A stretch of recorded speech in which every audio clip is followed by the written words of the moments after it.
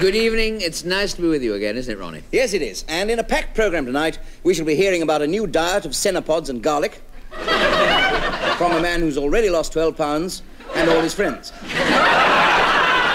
And we'll have with us a man who is so superstitious he got stuck in a lift with 13 strippers and he pressed the alarm button.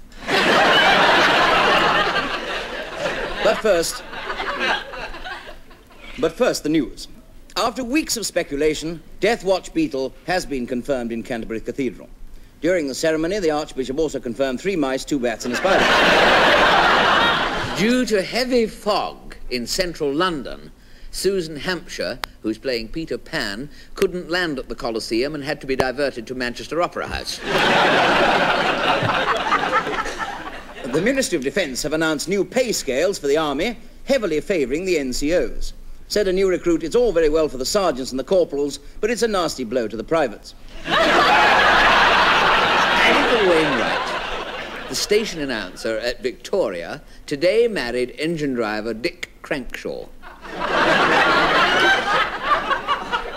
Her dress was a white organdy with lace bodice, and her train was 20 minutes late. Sport. In the Magic Circle golf tournament this afternoon, the great Misto paused at the 13th hole and turned his golf ball into a toad. Afterwards, he got a toad in the hole in one. And we've just heard that a cement mixer has collided with a prison van on the Kingston bypass. Motorists are asked to be on the lookout for 16 hardened criminals.